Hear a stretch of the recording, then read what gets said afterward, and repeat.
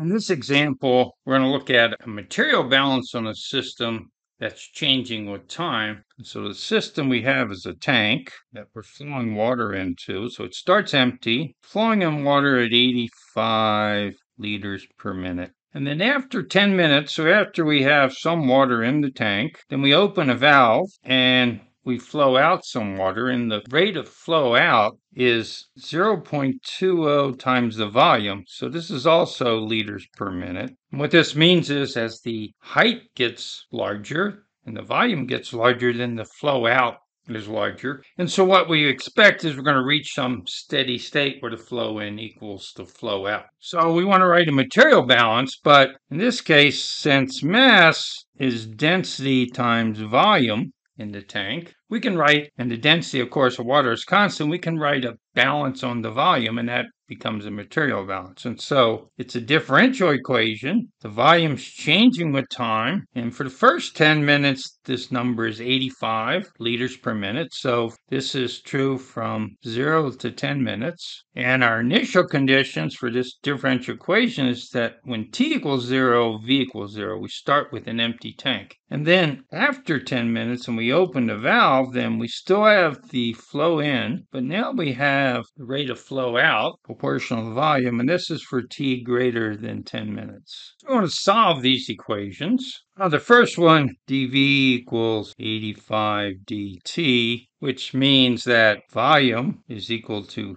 85 times time since the volume is zero when t is zero. And then the second one, we're going to write it by putting volume terms on the left side and time terms on the right side. And remember, this is for t greater than 10 minutes. And so now what I want to do is integrate from 10 minutes, some time t. Now at 10 minutes, the volume is 850 from this equation. And then we're calculating the volume. So we're going to calculate the volume at time t by integrating this equation. So let me pause and write that down. So now I can substitute in the limits. So this, and I'm going to bring this term of, let's make sure correct here. This is a minus sign because of the minus sign here. Bring the minus 0.2 to the right side and substitute in the limits. So 85 minus 0.20 V just the log of the whole thing here.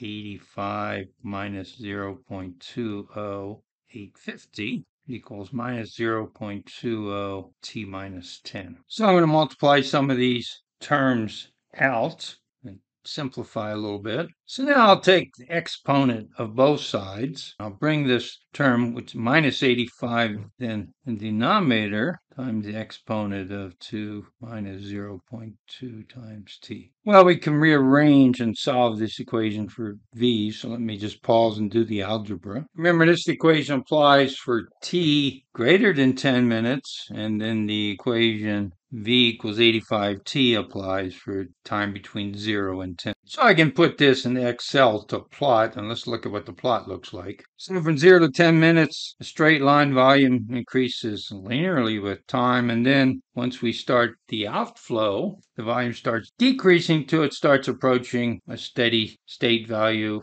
a little above 425 liters in the tank. We could also solve this by solving the differential equations directly in a program like Polymath. So let me just show you the solution the equations for Polymath. Of course, we get the same behavior in the Polymath program is really very simple as shown here on the left.